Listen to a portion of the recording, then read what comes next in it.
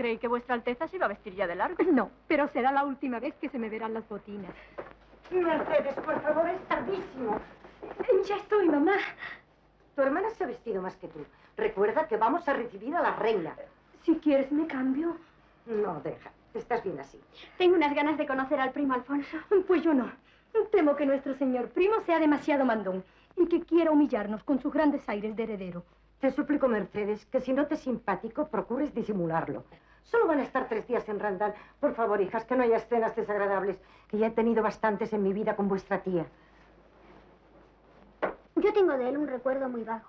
De cuando la reina lo llevó a Sevilla hace 10 o 12 años. Pues yo, la verdad, como si no lo hubiera visto nunca.